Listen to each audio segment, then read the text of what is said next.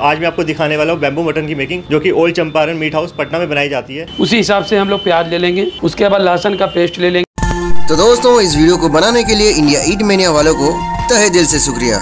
इस YouTube channel का link description box में है। चाहे तो आप सब्सक्राइब कर सकते हैं। हो चुका है मिश्रण। अब इसके अंदर भी थोड़ा सा तेल हम लोग फिल कर देंगे और इसमें मटन को डालेंगे। इसमें दबाव नहीं होना चाहिए बीच में होल नहीं होनी चाहिए। और इसके ऊपर ऐसे लॉक करेंगे। कि आराम से अंदर में चला जाए। ये हमारा तैयार हो गया अब अंगेठी पे जाएगा ठीक है? बम्बू वाले मटन का प्राइस क्या रहता है? बम्बू वाला ये बारह सौ रुपये का एक बम्बू क्योंकि बनाना बहुत कठिन होता है। हमारा बम्बू मटन भी तैयार हो चुका है तो इसको भी अभी हम रख देते हैं ठंडा होने के लिए। इसको खोलेंगे। अब इसको हम लोग निकालेंगे। निकालने के लिए इधर से प्रेशर देना। वीडियो अच्छा लगा तो वीडियो को लाइक कीजिए और हमारे चैनल को सब्सक्राइब कीजिए।